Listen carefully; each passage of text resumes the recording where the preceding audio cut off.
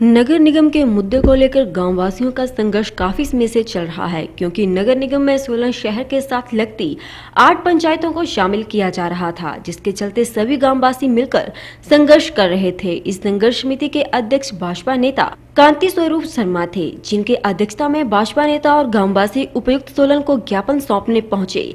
पीछे से गाँव वासियों ने प्रदेश सरकार के खिलाफ नारे लगा दिए, जिसकी वजह से भाजपा नेताओं पर अनुशासनात्मक कार्रवाई का डंडा चला। संघर्ष समिति के अध्यक्ष कांति शर्मा ने सफ़ाई दी कि कांग्रेस और माकप्पा नेता संघर्ष के नाम पर राजनीति कर रहे हैं। उन्होंने ही षड्यंत्र के तहत इस संघर्ष को राजनीति रंग दिया। इसलिए वे समिति को भंग करते हैं। जैसे ही भाजपा नेता ने संघर्ष समिति को भंग किया, उसके तुरंत बाद ही पर्दे के पीछे माकप्पा सेंट्रल कमेटी के सदस्य टिकेंद्र पंबर सामने आ गए और सोलन में प्रेस वार्ता का आयोजन कर नगर निगम का विरोध किया। किया। आपको बता दें कि टिकेंद्र पंबर खुद शिमला नगर कमेटी के नगर निगम के डिप्टी मेयर रह चुके हैं। माकप्पा सेंट्रल कमेटी के सदस्य टिकेंद्र पंबर ने नगर निगम में सोलन की आठ पंचायतों को शामिल करने का विरोध किया और कहा कि अगर इन पंचायतों को निगम में शामिल किया जाएगा तो गाँव वासियों को अपने अधिकारों से वंचित होना पड़ेगा। उन्हें किसानों से जुड़ी किसी भी तरह की योजनाएँ नहीं मिलेंगी। उन पर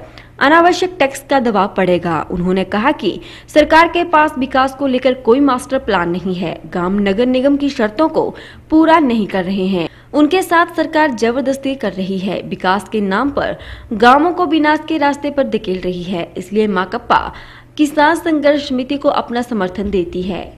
देखिए, नगर निगम का फैसला जो सरकार का है, सबसे पहले तो वो यहाँ की काउंसिल से रेजोल्यूशन होना चाहिए था। एक और दूसरी बात यह है कि अगर वो शहर के अंदर नगर निगम बनाए तो मुझे नहीं लगता कि उसमें ज़्यादा समस्या होगी। लेकिन किसी विजन के साथ होना चाहिए कि क्या आपका आ, मतलब आगे 20 साल के लिए क्या विजन है शहर के लिए? या जिसको हम कह सकते हैं कि क्या डेवलपमेंट प्लान होगा? विकास की योजना क्या होगी जिसको मास्टर प्लान भी कहते हैं? तो वो तो कहीं कुछ नज़र नहीं आ रही है। और दूसरी बात ये है कि गाँव को मर्ज करना और आठ पंचायतों को मर्ज करना और ये तो बेसिकली जो अर्बनाइजेशन की पॉलिसी है इसमें तीन महत्वपूर्ण बिंदु हैं।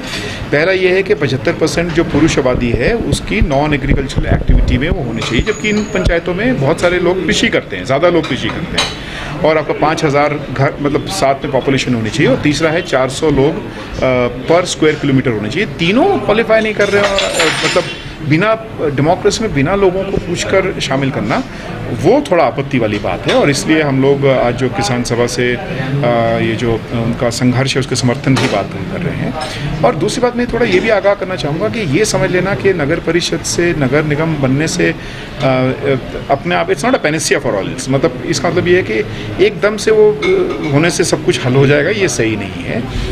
इनफैक्ट नगर परिषद के अंदर अपने रिसोर्सेज जनरेट करने की बात अगर कही होती है या सरकार ये कहती कि ठीक है हम आप ये करो कुछ हम मदद करेंगे। तो आने वाले पाँच साल सात साल में उसका और अगर फिर भी बनाना ही है तो आप 2021 के सेंसस के लिए वेट करो।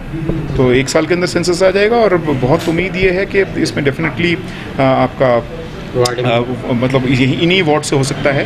और लास्ट में मुझे थोड़ा ऐसा लग रहा है कि जो गवर्नमेंट की आज माली स्थिति है वो इतनी ख़राब है सैलरी देने के लिए पैसे नहीं है और इसलिए वो जो ये नगर निकाय हैं इन पे बोझ डालकर के ये अपना दायरा बढ़ाएँ और अपना टैक्सेशन को ज़्यादा करें और उस टैक्सेशन से अपने आप को सेल्फ सफिशिएंट जो कह रहे हैं वो बनाएँ वो बहुत डेंजरस है साहब। और वो अगर होगा तो वो उसमें बहुत ज़्यादा विरोधा विरोध भी होगा और हम देख रहे हैं बहुत सारी जगह पर आ, मतलब जो सर्विसेज़ प्रोवाइड करने की काम है आ, आ, मतलब नगर निगम की या नगर परिषद की उसके लिए जैसे शिमला आप देख लीजिए पाँच पाँच हज़ार छः छः हज़ार कूड़े के बिल आ रहे हैं, जबकि तीन महीना आपका लॉकडाउन था।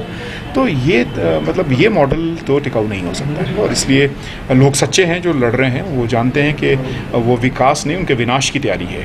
और जो ऑलरेडी वहाँ पर विकासकारी काम है, मनरेगा है, या जो सबसे बड़ी बात है, उनका जो चरांद है, जिसको हम शामलात भूमि बोलते हैं, सारी शामलात भूमि खत्म हो जाएगी एक ही उसमें। और ये शामलात भूमि तो अंग्रेज़ों के ज़माने से वहाँ वाजिबुल अर्ज़ में उनके राइट्स हैं फॉरेस्ट के अंदर राइट्स हैं।